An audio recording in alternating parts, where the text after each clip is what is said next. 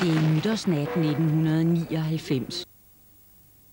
Jeg sidder og sapper sig igennem det massivt opreklamerede tv-eksperiment Dogme 2000. Ideen er, at vi alle skal skabe vores egen historie, klippe vores egen film. Føl det, føl det, føl det! I stedet sidder mange af os tilbage med frustration og forvirring. Formen overdøver indholdet, og vi savner en styrende hånd. Dogme 2000 er et symbol på 90'ernes informationssamfund. Sabberkultur og medieflimmer bider sig for alvor fast. Tempoet skrues i vejret,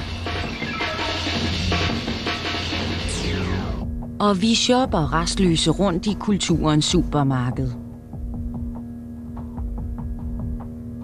Men det er også årtiet, hvor nogen prøver at genfinde enkelheden under den flimrende overflade. Kalkede kirker på stævns. Og hvor andre pludselig tør de store ord og den store fortælling igen. Det er håbet for det 21. århundrede. For vi kan rigtig hygge os.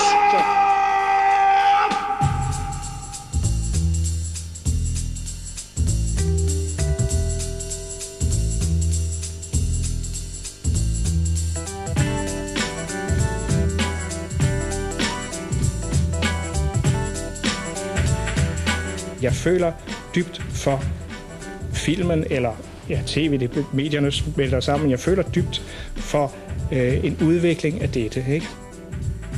Hvad er der så at skrive om, hvis du ikke har mere at fortælle om dig selv, og jeg føler, og jeg synes og alt sådan noget? Så går du et eller andet sted hen og henter. Altså, du bliver nødt til at brede det lidt ud på en eller anden måde.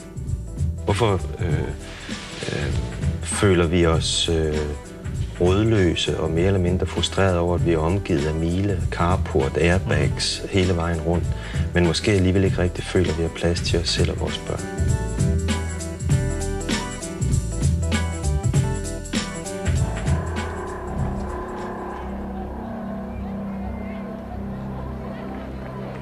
Vi er til Filmfestival i Cannes i 1991. Lars von Trier har vist sin film Europa, og det professionelle filmpublikum er begejstret. Alligevel får han ikke de gyldne palmer, og han lægger ikke skjul på sin skuffelse. De udenlandske pressefolk vælter sig over ham. De ved godt, at her er en sær og sjælden instruktør, der er godt stof i medierne. Trier er et paradoks og et eksempel på, hvor svært det kan være at adskille kunst og medier i 90'erne.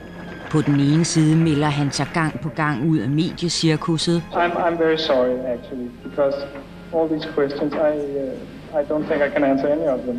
And why ask me about what the plot means? I, uh, I don't know what the plot means.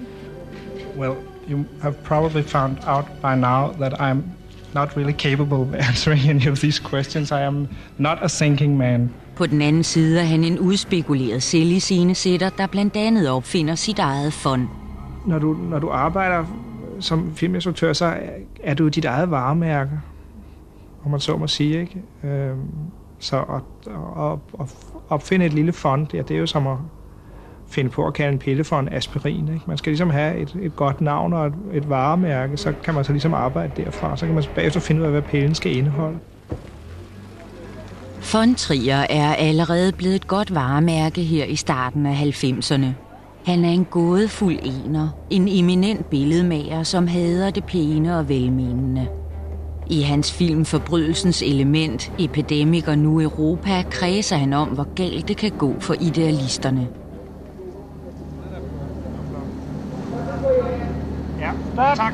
Det var virkelig flot. Idealister, der er lidt skolelærer over det, ikke? Det der med at tage ud i verden og ligesom, en ting er idealismen, men mere er ligesom at poprakke folk øh, deres opfattelse af, og ja, lære folk, hvordan de skal leve sammen. Triers kølige og dystre æstetik og antipædagogiske holdning passer perfekt til slutningen af det 20. århundrede. Man må endelig ikke påprakke nogen noget som helst, og det er svært at tro på noget større end en selv. Med murens fald bliver den røde drøm begravet.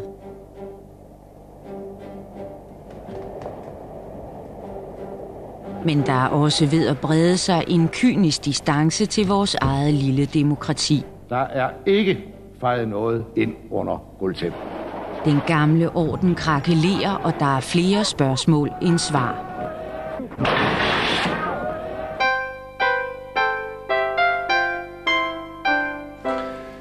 Velkommen til Bøger. Ligesom Trier viser Peter Hø, hvor galt det kan gå idealister. I hans bog Fortællinger om natten drømmer alle personerne efter noget absolut, noget perfekt. Og i den søgen, eller efter den, der går det agurk for dem. Altså, det går simpelthen skævt. De snubler, eller de kører af sporet. Øh, der sker det, at du, du, du sender en, øh, en løgn ind, eller et bedrag, eller hvad det nu kan være. En, en fortrængning, den bruger du meget. Ind, ind i din historie, som så får verden til at gå, at gå og lave. Jeg har bestræbt mig på at i bogen at vise, at øh, nogle af de masker, som øh, vi selv og som den udvikling, vi står i, har udstyret os med i Europas historie, er, er falske og katastrofale. Ifølge Peter Hø har det 20. århundredes forestillinger om videnskab, oplysning og fremskridt spillet for lidt. Han er en af de få, der bruger fortællingen som genre. En af forudsætningerne for at skrive fortællinger, tror jeg, og, og en af grundene til, at det er en sjælden genre i dag, det er, at fortællingerne kræver, at den, der skriver, har haft fornemmelsen af en slags orden i universet. Og vi lever i de splint, splindrede verdensbilleders århundrede. Peter Hø mener, at der er ubalance og uorden i den vestlige verden. Han er en kulturkritisk forfatter, men han vil også underholde. Her er ingen berøringsangst over for kulørte klichéer og billige effekter. Det giver succes. Frøken Smilas fornemmelse for sne gør Peter Hø berømt i hele verden. Det fryser ekstraordinære 18 grader Celsius, og det sner, og på det sprog, som ikke mere mit, er sneen granik. Store, næsten vægtløse krystaller, der falder i stabler og dækker jorden med et lag af pulveriseret hvid frost. Ligesom Lars von Trier bliver Peter Hø kastet for de grådige medieløver. Den pressesky forfatter skal jo sælge sin bog. Altså mange ting går jo øh, med at, øh, altså, at, at gøre opmærksom på, at Danmark og Grønland ikke er landfast med hinanden, og øh, at øh, eskimoer er etnisk anderledes end, øh, end øh, danskere. Ikke? Peter Hø baner vejen for en lang række af danske forfattere i udlandet. Fra de brede som Ib Michael og Michael Larsen, til de smalle som Solvej Balle og Inger Christensen. Der er andre advokater for dansk kunst i udlandet. Per Kirkeby er Danmarks mest geniale og anerkendte billedkunstner. Kunst, det er jo noget, man, det er jo noget, man, øh, man ved, hvad er, når man møder det. Pludselig er der, du ved, to minutter, hvor jeg tænker, det her, det er derfor, jeg lever. Siden 60'erne har Kirkeby eksperimenteret med alverdens genre. Kirkeby er en sand multikunstner og har ingen begrænsninger.